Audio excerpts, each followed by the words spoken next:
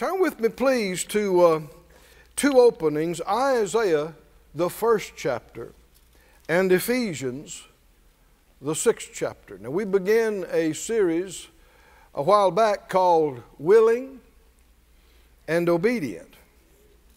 And everybody was excited about it. You, you remember? oh, yeah. And uh, the Lord dealt with me about some of these things back when I was a, uh, a boy.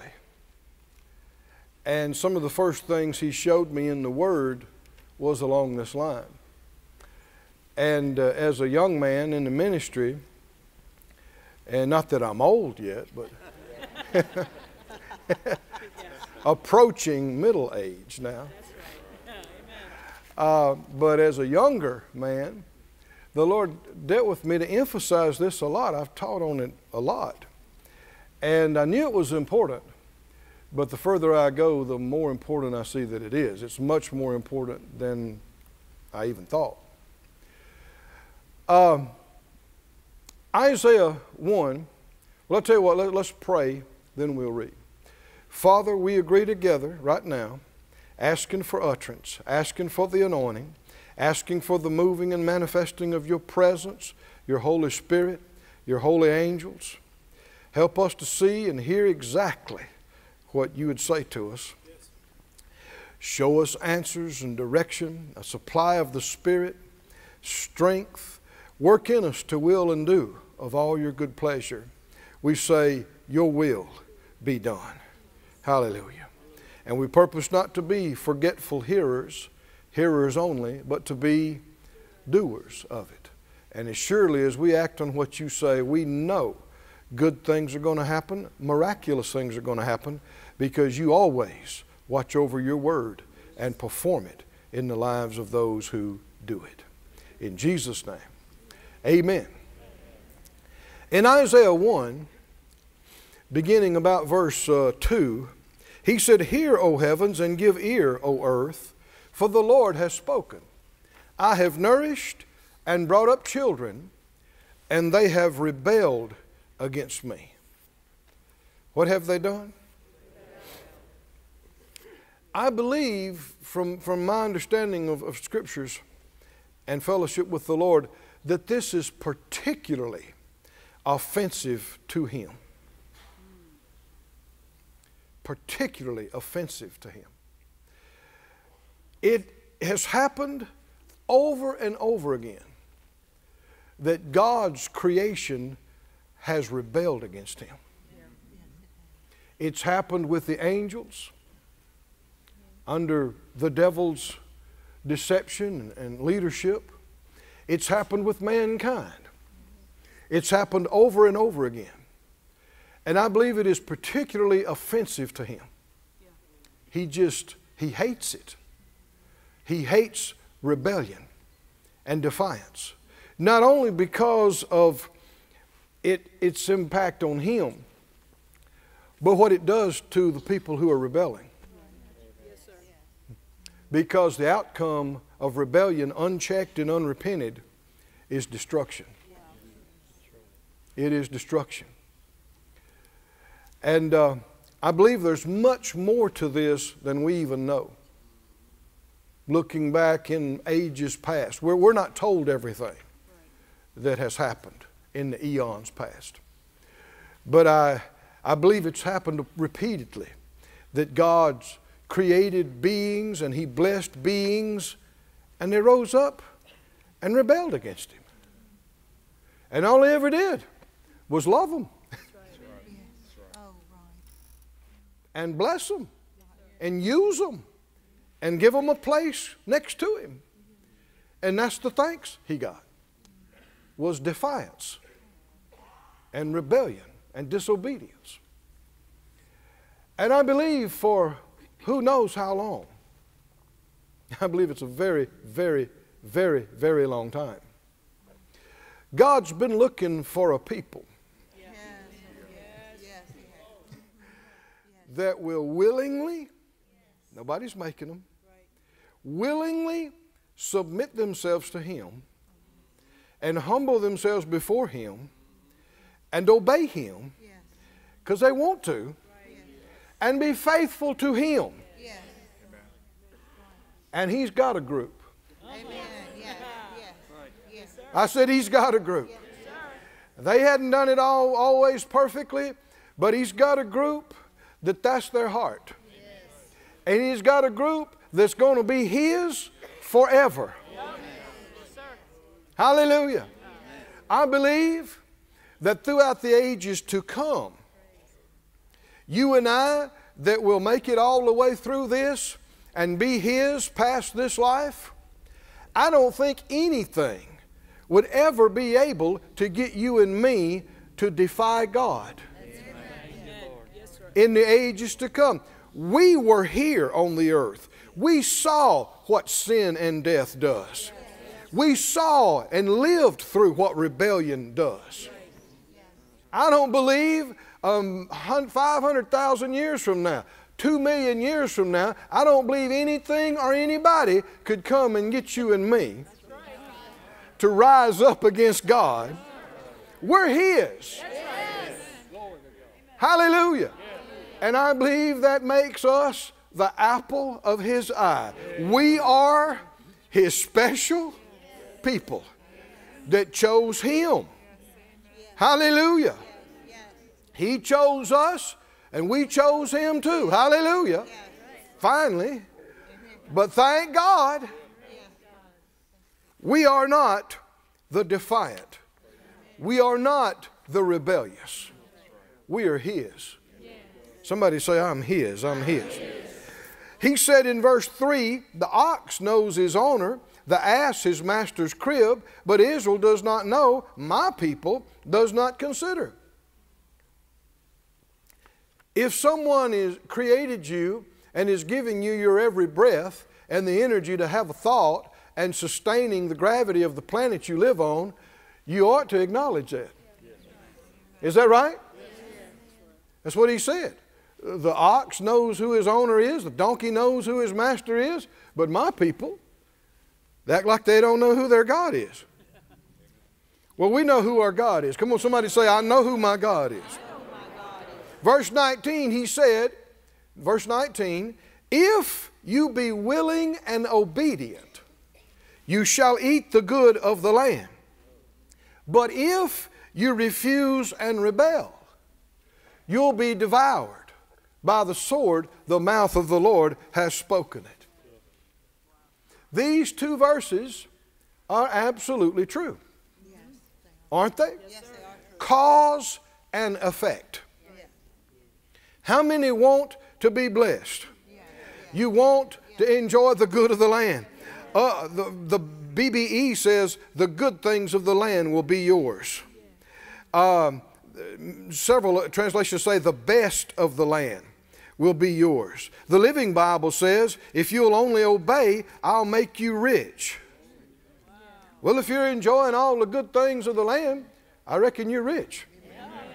Pretty good definition of rich. You got the good house, you got the good cars, you wear the good clothes, you eat the good food. Hmm? And I know some folks mock at this and call it materialism and what have you, but is the Bible true or is it not? Is it true or not? If, if Abraham was here, uh, would he tell you that God is a God who likes you poor? no, sir. Abraham, no, Isaac, Jacob, no, David, Solomon, no sir. Job. You've been reading about Job. You hear some folks say talk about poor old Job. You hadn't read the book. Historians tell us that probably the whole ordeal of Job happened less than a year, maybe nine months. He had a bad year. he had a rough time. But the Lord restored him yes, when he humbled himself yes. and repented. Come on, is everybody listening? and gave him twice as much as what he had. And in the beginning, he was the richest man in the East. By today's standard, he was a billionaire. Poor old Job. I don't think so. Said out loud, if you're willing, and, obedient, you shall, eat the good, the, best of the land. Is the next verse just as true? We'll say that out loud too then. If you refuse, and, rebel, you'll be devoured. Well, that's true too, isn't it? How many really believe verse 19 is true? If you're willing and obedient, you'll eat the good of the land. You really believe that? What if you're not eating the good of the land? Hmm. Ephesians 6, go over there. We'll see if we like this any better. Ephesians 6 and 1. This is New Testament now. Right? right? Children, obey, obey. Obey is nowadays a politically incorrect word. Right? you, I mean, you just say it, and people look at you funny like, obey. Well, you better tone it down a little bit. obey. obey your parents in the Lord, for this is right. Honor your father and mother, which is the first commandment with promise, that it may be well with you and you may live long on the earth. Isn't this the same principle? Yeah. Obedience, yes. honor, and respect, and it going well with you. Yeah. And you're living a long time. Why? Because it's the easiest to learn obedience, submission, and respect when you're two and three and five. Come on, are you listening? It's the easiest because you, you don't know anything else. It's very sad that people, parents, have read unbelievers' books on child rearing and gone by those things instead of the Word of God. And you have a generation that is so defiant, so disrespectful, so rebellious, and the sad part is what it's going to do to them. If you don't learn respect for, for your parents and for people, your teachers, your coaches, your employer, it's not going to go well with you. Even if you're a Christian, you can pray and believe God, and He can get you the right spouse, the right partner. But if you're too disrespectful and too rebellious, you can mess it up. Next thing you know, you're divorced. God can get you the right job in the right profession. But if you're too rebellious, get fired. Did you hear me? Or be so belligerent, you just quit and walk off and leave the will of God. And when you leave the will of God, where are you going? Where are you headed? You know, before you jump up and spout off and throw your tools down and clean out your desk, you need to ask yourself a big question. What am I leaving? And where am, what am I going to? Well, I was just too mad. Well, you need to act like a Christian. Get a hold of yourself. Bite your tongue. Say yes, sir. Yes, ma'am. Go home and pray. You can always quit tomorrow if you want to. Is that right? But don't do something because of a rage of the flesh or because of hurt feelings. That's being carnal like any unsaved man or woman.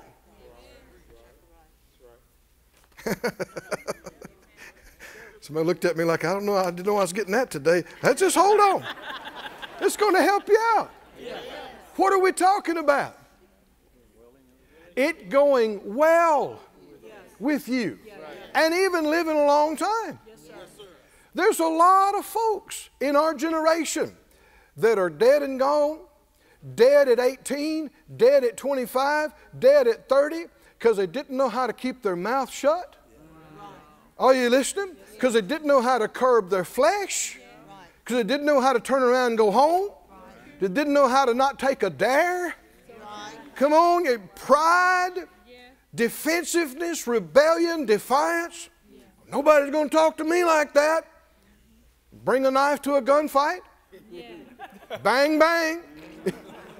well, it didn't go well with them. Is that right? On their fourth marriage, on their ninth job, always starting over. God, why is it this way? Well, you're not eating the good of the land. It's not going well with you. Why? Not willing, not obedient.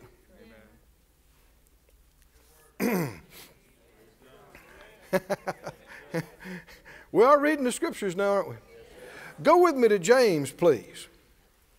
It's not just an Old Testament concept.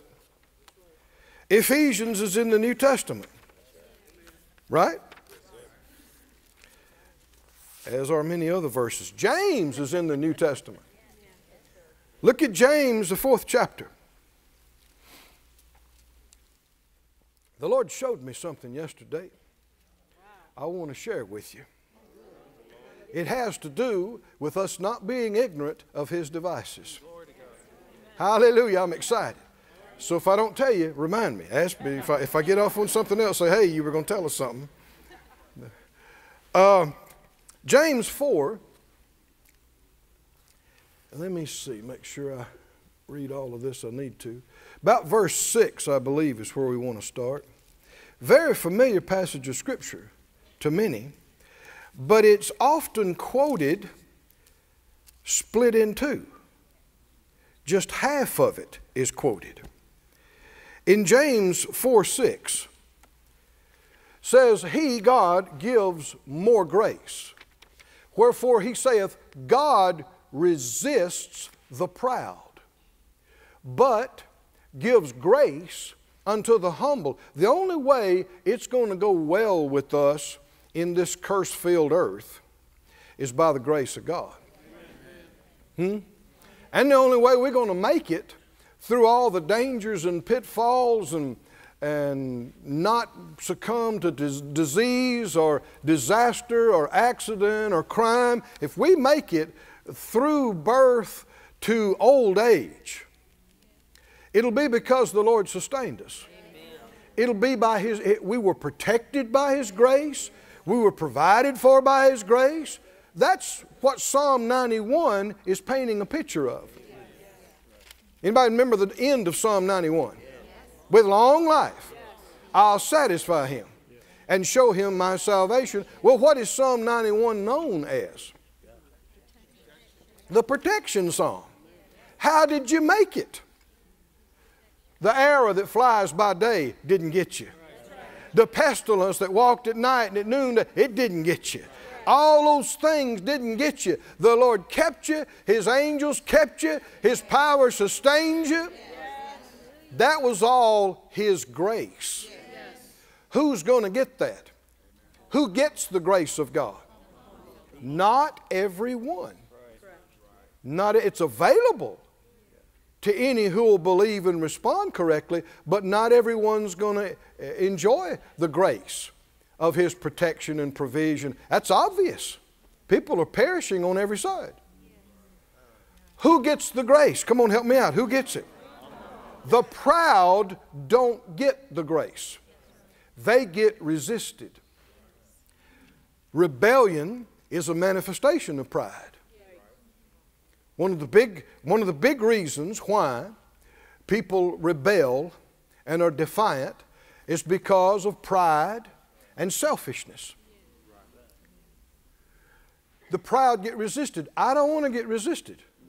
Do you? I mean, life is tough enough.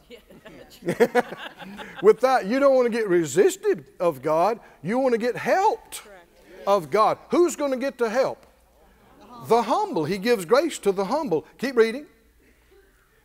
Submit yourselves, therefore, to God. This is humbling yourself. Who's going to get the grace? The humble. One of the main things you do to be humble is you submit yourself to God. Submit is another word, like obey. that is completely, politically incorrect. and, not even mentioned in a lot of churches. Submit, oh no, we're not into the, you know, all that submission error. we're just reading a verse. Yes. Amen. Amen. Yes. Sir. Submit yourselves, therefore, to God. Resist the devil, and he will flee from you. Now, this is the verse I said. A lot of folks quote only half of it. A lot of people only quote the last part. Resist the devil, and he'll flee from you. That's not the entire verse. It doesn't start with resist the devil, it starts with submit yourself to God. Let me read some other translations of this to you. The Young's literal says, Be subject then to God, stand up against the devil, and he'll flee from you. Can you see there's a picture? Yield to God, stand up to the devil. But you're not going to be able to stand up to the devil if you're resisting God. If you're resisting God, you're actually yielding to the enemy. If you're yielding to Him, He's not going to yield to you. You're yielding to Him. Um, the complete Jewish Bible says a similar thing submit to God, take a stand against the adversary, and he'll flee from you. The Wuest translation says, Be subject with implicit obedience to God at once and once for all. Stand immovable against the onset of the devil, and he'll flee from you. We're talking about two different spirits the Spirit of Christ. He said, Come learn of me. I am what? Meek. Meek. Humble. Lowly of heart. You'll find rest to your souls. And the spirit of the adversary, which is the spirit of error, which is the spirit, Ephesians says, that now works in the children of disobedience. Satan in 2 Corinthians 4 4 is called the God of this world. And in Ephesians, he's called the prince of the power of the air, the spirit that now works in the children of disobedience. This whole earth is infused with the spirit of rebellion. There is defiance everywhere you look, there is attitude. is that right? Everywhere you look, and regardless of how it's expressed, it's basically nobody tells me what to do. People call it different things. Notice a lot of times it's called pride, such and such kind of pride. Well, there is no good kind of pride. I don't have time to explain all that. Put, study the scriptures for yourself on this, and you'll see. There is no good kind of pride. It's all of the enemy. He's the proud one. He's the defiant, rebellious, disobedient one, and he is the God of this world, and as such, he's influenced the whole world this way. And that's more what you find than the other. And it comes out in all kinds of ways. It's always about the heart. One of the most graphic examples of it is the 60s. The 60s. Call it what you will. But what, what, what was it? It was rebellion. Rebellion against any kind of authority, against any kind of morals, right? And against laws. And what was the result? Immorality everywhere. People hurt, unwanted pregnancies, abortions, and violence. Is that right? Violence. Well, who's involved in that? Stealing, killing, destroying. Who's that? That's people yielding to this defiant, rebellious spirit. And you see, he, he's, he's always trying to get this stirred up. Always. We've seen this in recent times in riots. Is that right? People destroying pop- property and, and people doing things. And it's a basic defiance against authority and law and order. And uh, some of it of, of late has been against, against the police, against authorities. And uh, there are there are some police that have done wrong. Um, years ago, Phyllis and I were on the wrong end of some police who abused their authority. It's a bad feeling when people in authority abuse their position. And here they are armed, and you're not, and they've got the law and you don't, and they're doing something wrong. But I believe that's a tiny, tiny minority. Don't you? Of our, our police. Most of our police, but we got some good ones around here. Most of our police are exactly what Romans says they are the ministers of God. Do you know that? Romans calls these authorities the ministers of God. They're anointed to do this. And, and they face danger on our behalf. And several of the outstanding public cases where people were killed and the results were so much riot. I want to ask you one question.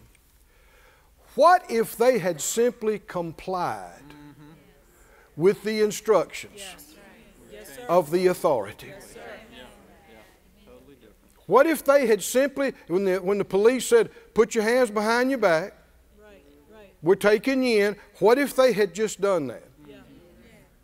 Would they still be alive? Is that worth anything? Does it matter?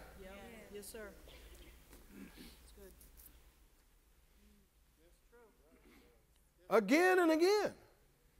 People try to justify. And just because you get mad and upset about something doesn't mean you got a right to go into the street and burn buildings down. That's right. Does it? No, this is devilish. It is of the devil.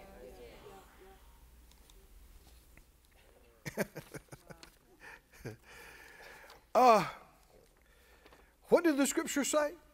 Submit yourself to God.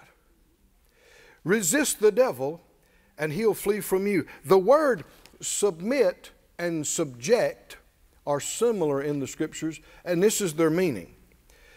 Subject is actually a military term, it means to rank or arrange under. Submit literally means to yield to or to surrender to.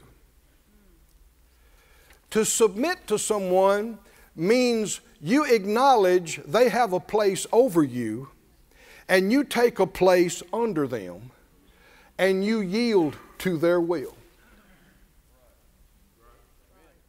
This is contrary to your flesh. but are you going to let your flesh dominate you? Submit yourself to God. Now, the main ways that you submit yourself to God is number one, by submitting yourself to His Word. Hmm? If His Word says it, no matter how you feel, yield to it. Give it the place over you, take your place under it. Submission to God involves submission to His Spirit. Whatever the Spirit says to you, which will always be in line with the written Word. Submit to that. And thirdly, submission to God includes submission to people that He has placed over you. Yes, sir. Again, politically incorrect. But reads, the Bible reads the same way as it always has. Let me give you some scriptures since I, I, I sensed a, a, some excitement move over the. I'm talking by faith now. Uh, 1 Thessalonians 5. I need to talk some more about the spirit of rebellion. You have experienced the spirit of rebellion, and you have yielded to it. you have, and I have. We all have. That's how you got lost. That's how you became lost. When you're born a baby, you're not lost. You're innocent. You don't know good from evil. Your little spirit's alive to God. But when you come to an age where you can understand the difference between right and wrong, at some point, you, me, every one of us got rebellious. And we defied what we knew was right, and we did what we knew we shouldn't do. We refused to do what we knew we should do, and we died spiritually. Oh, but by the grace of God, hallelujah, we believed on Him and were born again. Hallelujah. And we do not have to be like the rebellious world, unsaved world round about us. We can be like our Master.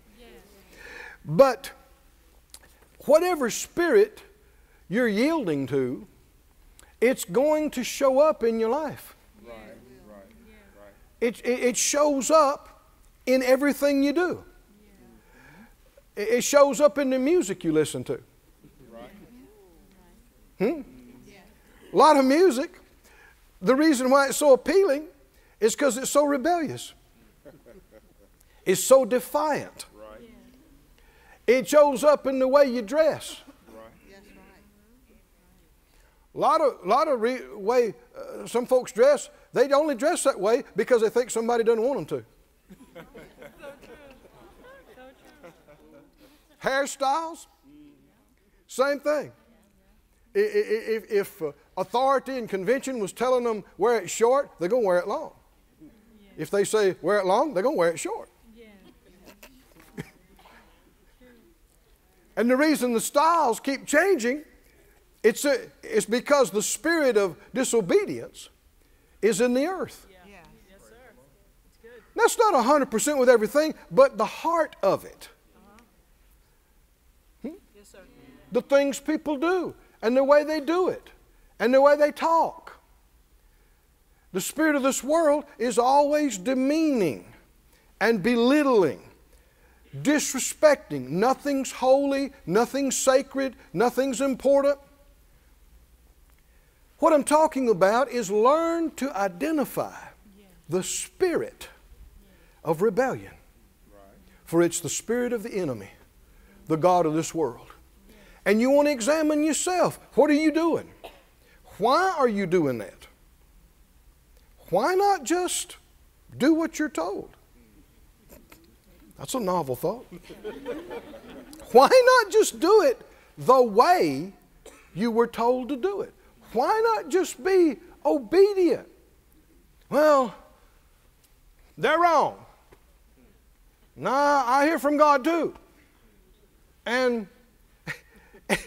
it's just echoes of the past reverberating through the present. That's exactly what the enemy did. That's exactly what he breathed into our parents, Adam and Eve.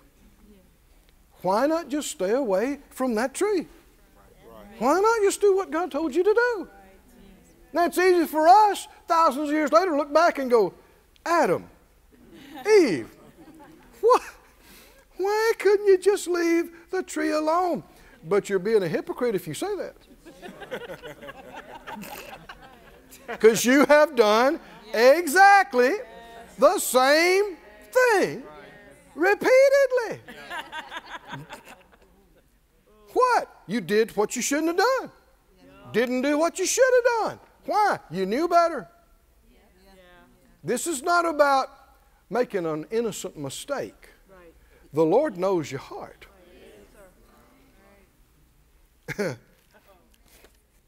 my, my. This is growing on me.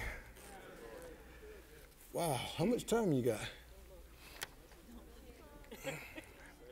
1 Thessalonians 5. Listen fast. 1 Thessalonians 5 12. I gave you three things I believe the Lord gave me. What does it mean to submit to God? Help me out. What does it mean? How do you submit to God? Number one, you submit to His written word. Number two, you submit to His Holy Spirit. Number three, you submit to people. Uh, that, and most people will agree with one and two. but I'm, I'm showing you now why three is right too. 1 Thessalonians 5:12 We beseech you brethren know them which labor among you and are what? Are what?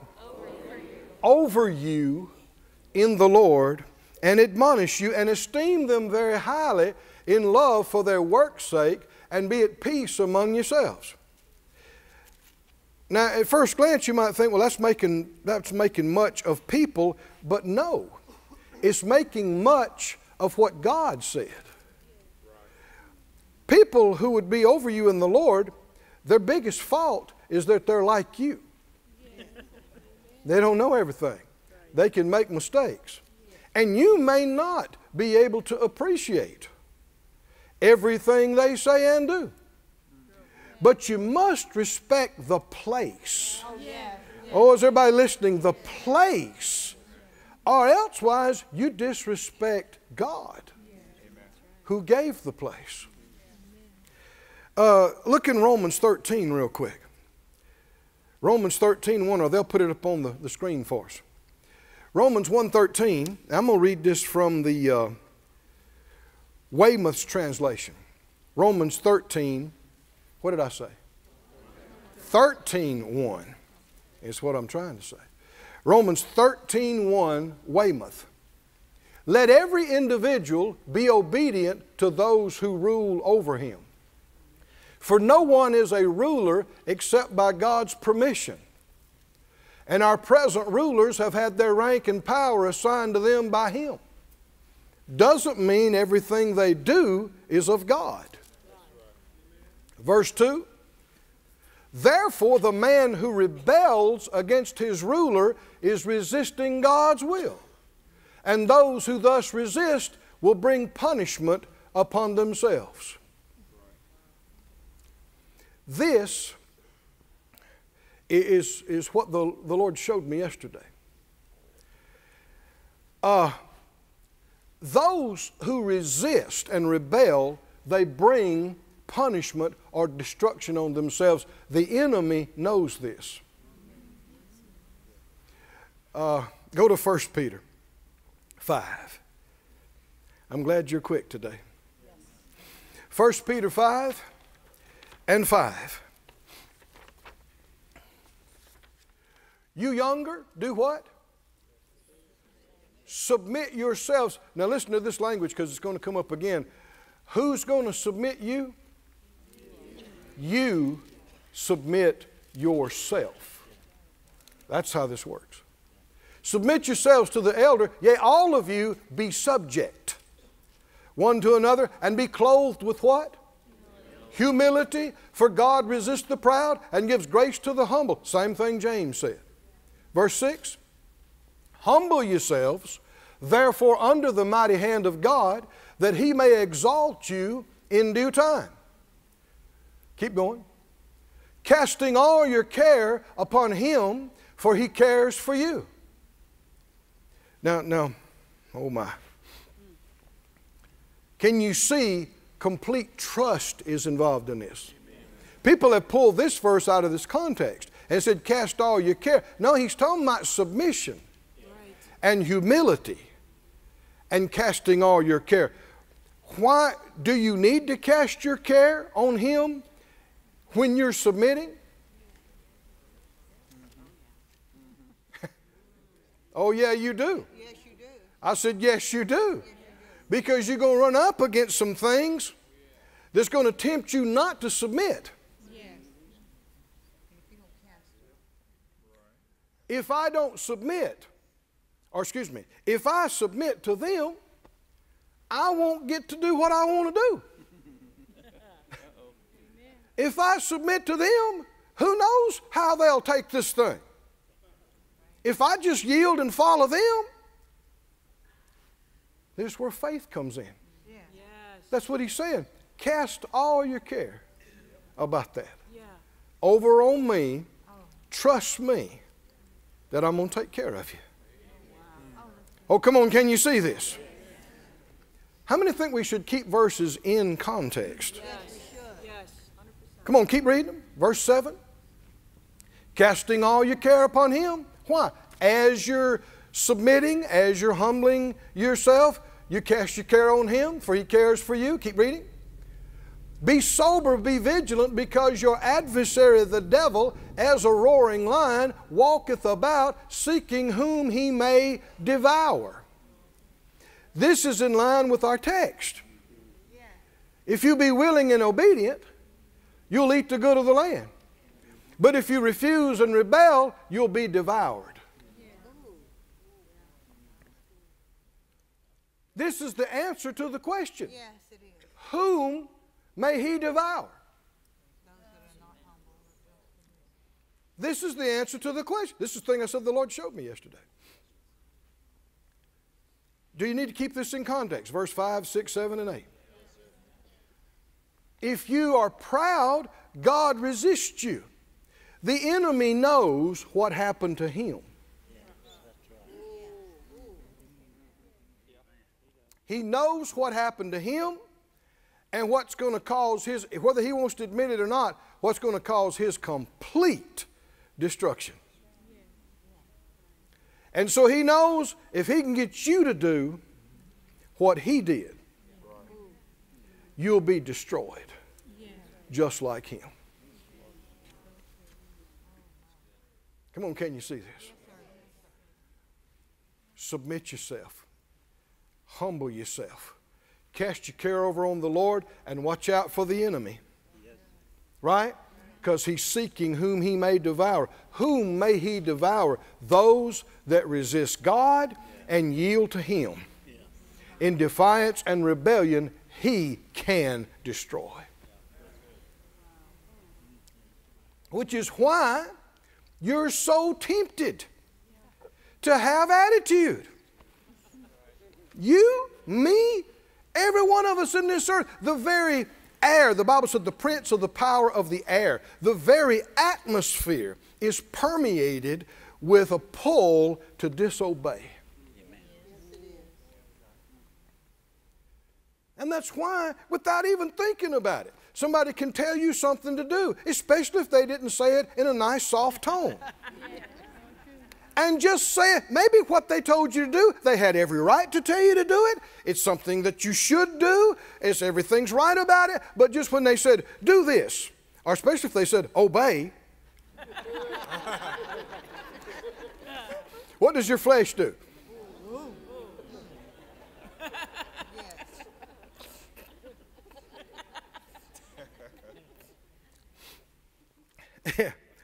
I saw documentary one time, oh, this has been 10, 15 years ago at least.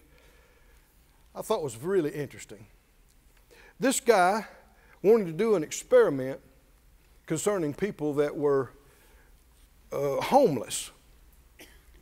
He went out to a place and found where some people were living in cardboard boxes, living on the street, had been for some time. And he left a briefcase of like, I think it was at least $100,000 right there by where one of these guys was living and watched. And the guy got it and opened it up. And of course, he was pretty thrilled about it. And the guy showed up and told him it was his, but that he, was, he would let him have it if he could follow him around and document uh, with, with their film crew. He said, Yeah. So the guy went to the hotel and got him a hotel room and got cleaned up and got him some food and, all that. And then he, uh, uh, he got some stuff for his friends. And, and as the months, weeks went by, he, he bought him a, a new pickup. And uh, he got him a place where he was staying. And one of the uh, reasons he had given in times past was they asked him what had happened, and he said, well, he couldn't get a job because he didn't have a place to stay, and, and, and et cetera, et cetera. Well, now he has a place to stay, and he has a, a car. And so they said, well, you know, uh, uh, it's been you know, six months, and you know, this money ain't gonna last forever. I mean, it's you're spending it up. You gonna get you a job? He said, Yeah, yeah, he would, but but he didn't. And and months went by, and months went by, and finally he's about out of money. He's gonna have to leave the place he's staying, and and and he's wound, he's gonna need to sell the truck, and and and he wound up completely back at zero. And, and one of the things the guy said just stood out to me. The, the guy asked him, he said, Well, now, you, you know, you, you didn't get a job and you didn't do this. There were even some people who offered to him that he could come to work for them. And he said, Well, he said, I don't like people telling me what to do. I don't like people telling me what to do. And within just a matter of months, he was back in the cardboard box on the street. Now, I'm not saying it would, that be, it would be that way with everybody. There are some folks, if they get an opportunity, they're coming out. But there is a whole lot of people, it wouldn't matter the opportunity if you don't fix the reason why they got there. It's just a matter of time till you're there again. What will cause it to go well with you and live long? You got to be willing. You got to be obedient. I mean, it, it just reverberated through me when he said that. The Lord, he, he it's like he was pointing to it. And he said, Look at this, listen to this. He said, I just, I just don't like people telling me what to do. So he would rather live in a cardboard box than have to listen to somebody or submit to somebody or obey somebody. This is not uncommon. Do you want to be like that? Are you willing for it to cost you? No, I believe it's better to obey. To obey is better than sacrifice. Is that right? Where are you? Huh? Did, did you get the thing? So I'm telling you what the Lord told me the other day. Did you get the thing? What's, how does the enemy devour and destroy people? He gets them to do what he did rebel, defy, disobey, and he knows if you do that and won't repent, you'll be destroyed. He knows that. Are we ignorant of his device? Then let's not yield to it. Let's stop yielding to it. Go with me to Exodus, please, for time's sake. Exodus.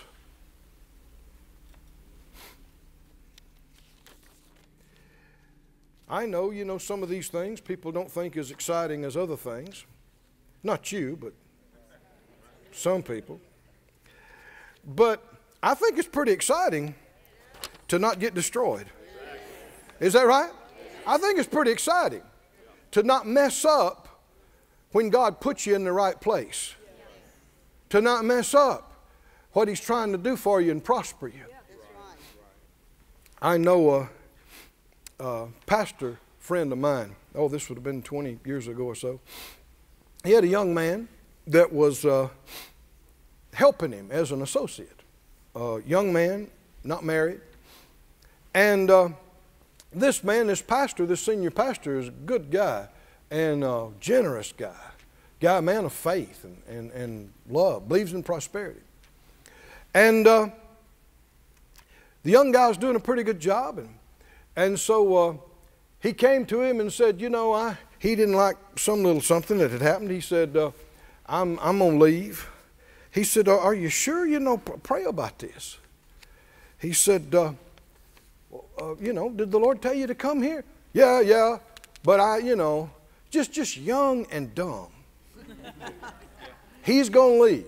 Well, he did his best. He tried to talk to him, tried to get him to pray, tried to get him just put it off a little while. Think about it. He wouldn't do it. All and very disrespectful. The man asked him, Come in, sit down, listen to me. He wouldn't do it. Stood up, no, I'll just stand, you know, all this kind of stuff. So he left. And next time I was there, I talked to the guy. I said, Where's this young guy, man? Wasn't he doing good? He said he was doing well. But he got this burr under his saddle about this deal. And he looked at me, he said, Nobody knows this. He said, I was getting ready to give him a house. Already had it in the works to give him a house.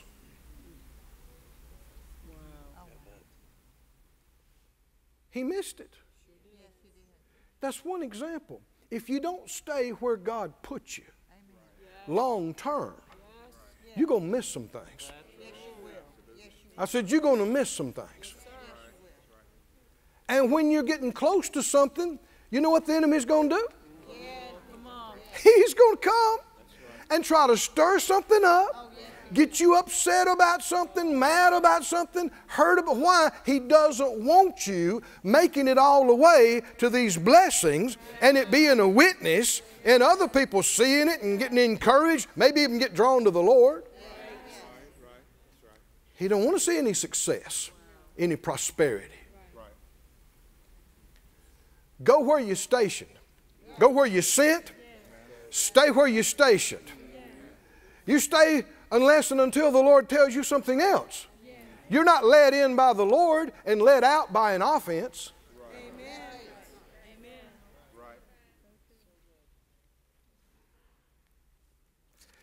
Exodus. This is the account, verse chapter 24, where Moses this is actually amazing. If you haven't read this or read it carefully, I recommend you read it again carefully. It is amazing. God said to Moses and the elders, Come up to the mountain. And he actually had a meal with them. It didn't say he ate, but they came and they saw him. They saw his form. They saw his, it said it looked like sapphire that he was sitting on. God. This is amazing. And after this meet and greet with God, he told them they could stay there and he wanted Moses to come on up in the mountain with him. And for the next 40 days and nights, Moses was there with him, and one on one, God gave him the plans for the tabernacle, all the articles, the way worship and sacrifice was to occur. I mean, 40 days and nights. And the, and the glory and the experience was so intense that when Moses came down, his face was shining like a light bulb.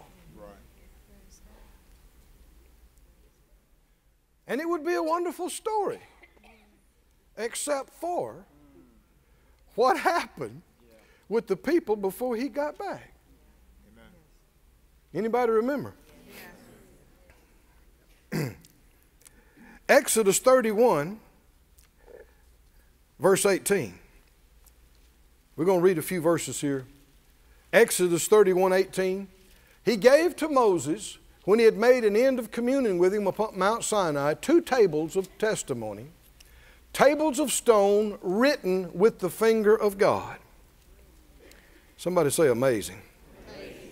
Keep reading into the next chapter now, chapter 32. Or, am I telling it right? Yes, sir. and when the people saw that Moses delayed to come down out of the mountain, now how long? Six weeks. Six weeks ago, less than two months, six weeks ago, they saw the glory, they heard the voice, they said, The Lord, He is God. Whatever He says to us, that's what we will do. Six weeks ago. And uh, so Moses delayed to come down. I don't know why you would assume it's such a big delay. He didn't say how long he'd be gone. He didn't know. Right. The Lord just told him, Come up here. Yeah, yeah. The people gathered themselves together unto Aaron, and they said to him, Up, make us gods, which shall go before us. For as for this Moses, the man that brought us out of the land of Egypt, we what not, we don't know what has become of him. Do you recognize the Spirit? Is everybody listening? Do you recognize this devilish, disrespectful, this, this Moses? See, whatever spirit you're yielding to, it's going to come out in the way you address people, Yeah. in the way you act around people. Hmm? Everything you do. It, it can affect the way you, you style your hair, the way you dress, the music you listen to. A lot of stuff people are doing, they're only doing it because they think somebody doesn't want them to. Defiance. So uh, keep reading. Aaron said to them, Break off the gold earrings which are in the ears of your wives and your sons and your daughters and bring them to me. What an idea. Where did he get this? And all the people broke off the gold earrings that were in their ears and brought them to Aaron. and he received them at their hand and fashioned it with a graving tool after he had made it a molten calf. And he said, These be your gods, O Israel, which brought you up out of the land of Egypt. What? This is the birth of a new religion. This is how they all start. Every religion of man is birthed out of rebellion. It is. Everyone, if, if, you could, if you could know the history, every culture, I don't care if it's thousands of years old, there was a time when some of them knew God. Right. Mm-hmm. But at some point, somebody didn't want to acknowledge God and submit to God, so they, the enemy was right there to give them an idea like, go get all the earrings, go make this gold calf. It's total rebellion. So they're rebelling against God. They're rebelling against Moses. And uh, he said, These are your gods. When Aaron saw it, he built an altar before it. Aaron made a proclamation tomorrow is a feast of, of the Lord. Let's keep reading some of this. Keep reading. They rose up early in the morning, offered burnt offerings, brought peace offerings. The people sat down to eat and drink, rose up to play.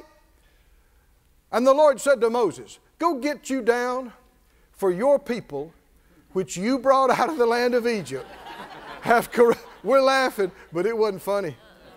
God is angry. Six weeks ago, the Lord, He is God. Whatever He says, we'll do. He said, They have turned aside quickly out of the way which I commanded them. Now, they've made a molten calf. They've worshiped it and sacrificed thereto. They said, These are your gods, O Israel, which brought you up out of the land of Egypt. These are your gods? Who split the Red Sea? Who protected them in the land of Goshen when people were dying on the right and left and everywhere? Who? And you, you're going to rise up and go, nah, we don't know what happened to Moses or his God. We got us a new God.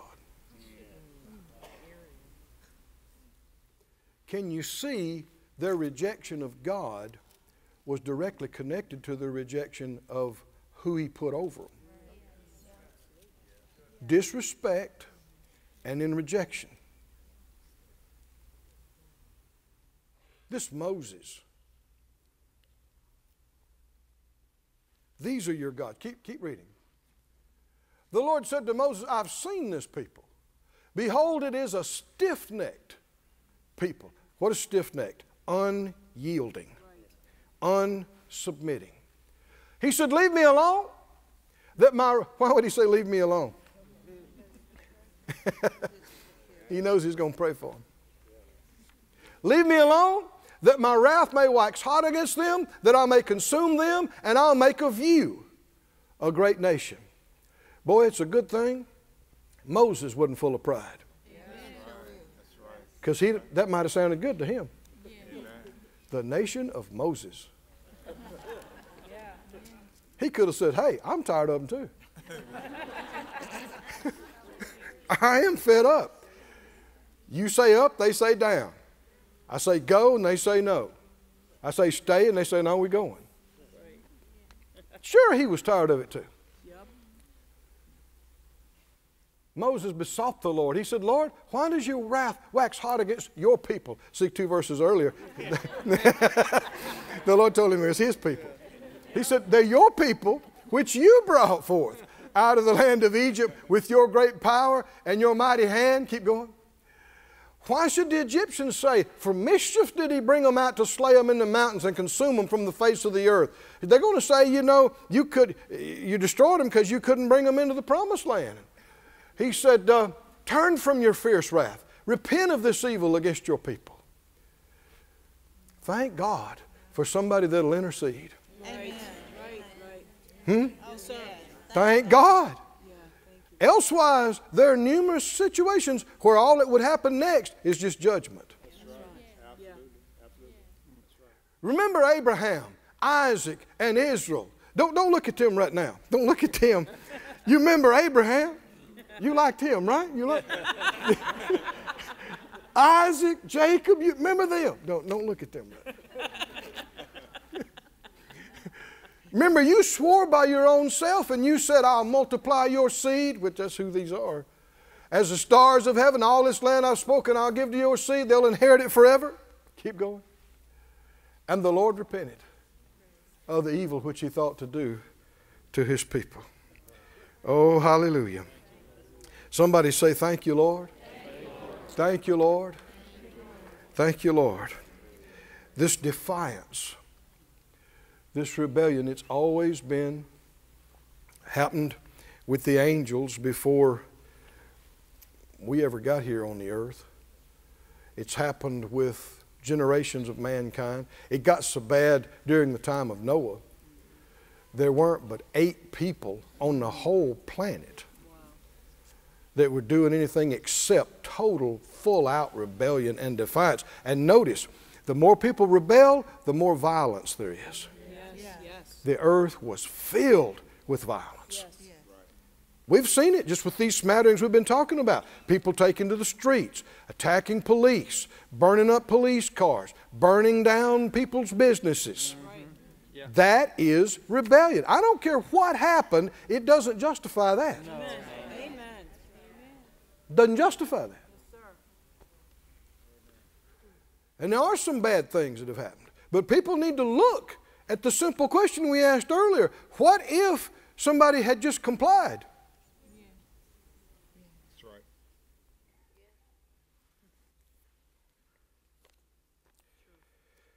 Thanks be unto God.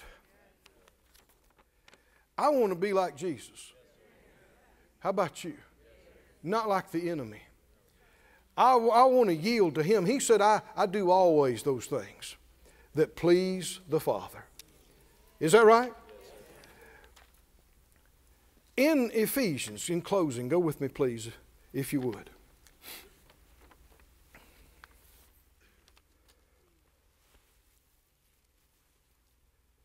Tell me how you submit to God. Submit to His Word. Submit to His Spirit. And to those that have the rule over you. Now, I just gave you one verse in Thessalonians. There's at least three different times in the book of Hebrews he refers to those that have the rule over you. There are other scriptures throughout the, other verses throughout the Word. But coming back to this, in Ephesians 6 and 5, Ephesians 6 5, servants, be obedient to them that are your masters according to the flesh, and fear with fear and trembling, in singleness of your heart as unto Christ. Now, another way of saying this would be uh, employees and employers. Be obedient with fear and trembling. It don't sound like our society. Verse 6 Not with eye service as men pleasers, but as the servants of Christ, doing the will of God from the heart. with good will, doing service. Now, is everybody awake? Doing it how? As to the Lord and not to men, knowing that whatever good thing any man does, the same shall he receive of the Lord, whether he be bond or free.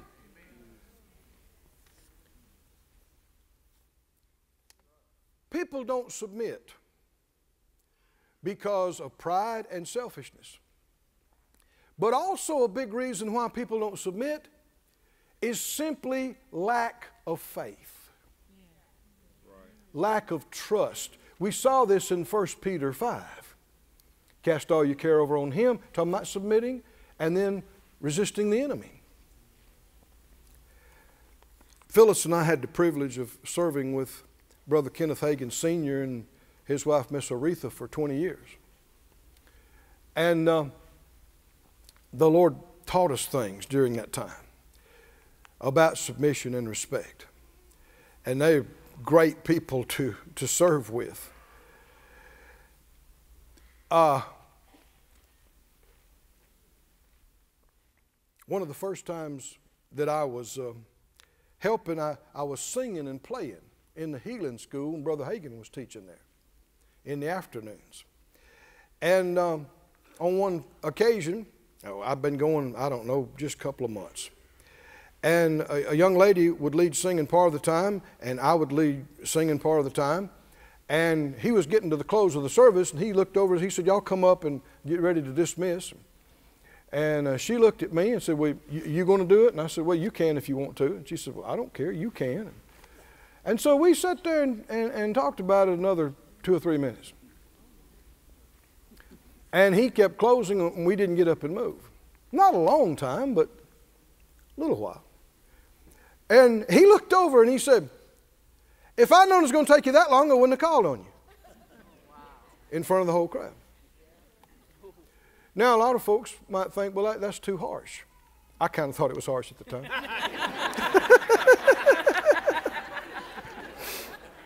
but I jumped up and, and I ran up, and, and in, in the future, after that, I had I actually had a pastor ask me one time because Brother Hagin sometimes would call me up at the end of the service, and I'd get up and I wouldn't take any time getting up there. I mean, I, I would get right on up there, and they would say, "Man, you you move when he calls you. Why do you do that?" Out of respect for the Lord. Yes. It was more than him. Yes. The Lord showed me. I wasn't too happy about it because it embarrassed me. But as I went and prayed about it, and the Lord said, You were being disrespectful to the Lord. Was why I prompted him to say it like that. You needed to be jerked because you're being disrespectful. What else you got going on that's more important than this? Didn't you know the service was about to end? This is your job. Why aren't you thinking about it? Why aren't you getting ready? Why aren't you preparing? See, this looseness, this laxness is disrespect. And when you know it's what you should be doing, what else is it? It's rebellion. Nah. Nah. We'll get around to it. And one of the first times that I, I, I did a song in the, their big meeting, their camp meeting. This was even prior to that. He called me up, and the Lord gave me a song. It went well. This is one of the first times I'd ever done anything like that. And him and Miss Oretha, after the service, they came back in the back, and I was there, and Phyllis was there, and they both commended me. They said, That was a good job, Keith. Man, you did a good job. And I, I don't know why I said it, but I said, uh, I said, Yeah, I'll, I'll get to it eventually. And they both looked at me and said, It better be sooner than later. Well, I thought that was unnecessary too. I thought, well, but again, why would you loiter around and drag around and mess around if you could get to it quicker? Why wouldn't you do the best you knew how? See, it's not a matter of just giving them respect, it's a matter of giving the Lord respect. And when you're talking about submitting to people who are over you in the Lord, I, I did respond quickly after that, and I did make some changes. And, and I, we did love the Hagins, but we weren't doing these things just because we love them. We're doing it out of respect for the Lord. Can you see that? We're responding to them because we're doing it unto Him. Oh, hallelujah. Hallelujah. And this church and the church in Sarasota has grasped some of that. Hallelujah. Our teams, our visitors, they brag on you. When our visitors come in, they brag on you. Everybody from parking lot to greeters to hospitality to everybody everywhere. They said, Man, your people, how do you get them to come and work like they do? I said, Well, they're, they're doing it unto the Lord. Am I telling the truth? I said, It's their ministry. And they take it seriously. That's why they do it with excellence. That's why they do it promptly, as quick, best they can, best they know how, believing to do better. Why? Because it's not just doing it unto men, you are doing it unto Him. Hallelujah. Do you believe it? Stand on your feet, everybody.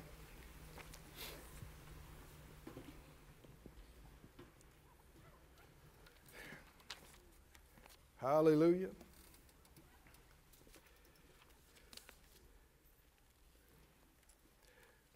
Just play something softly and just close your eyes, everybody. Pray this out loud if you mean it in your heart. Say it out loud Father, forgive me for yielding to pride, rebellion, defiance. It's of the devil. It's the spirit of this ungodly world. I want no part of it. I don't want to be that way. I choose not to be that way. That's not the spirit that you have put in me. The spirit of Christ is the spirit of humility, the spirit of obedience, the spirit of honor, honoring God. Hallelujah. Thank you for teaching me these things. Open my eyes, reveal more to me today, tomorrow, throughout the week. Help me to see and close every door to the enemy's device and give him no place. Hallelujah. Thank you, Lord. Just by faith, submit yourself. By faith, humble yourself and say, I worship you. You, you, you can't truly worship Him without humbling yourself. Just say it out loud Lord, I worship you. I humble myself before you. Hallelujah.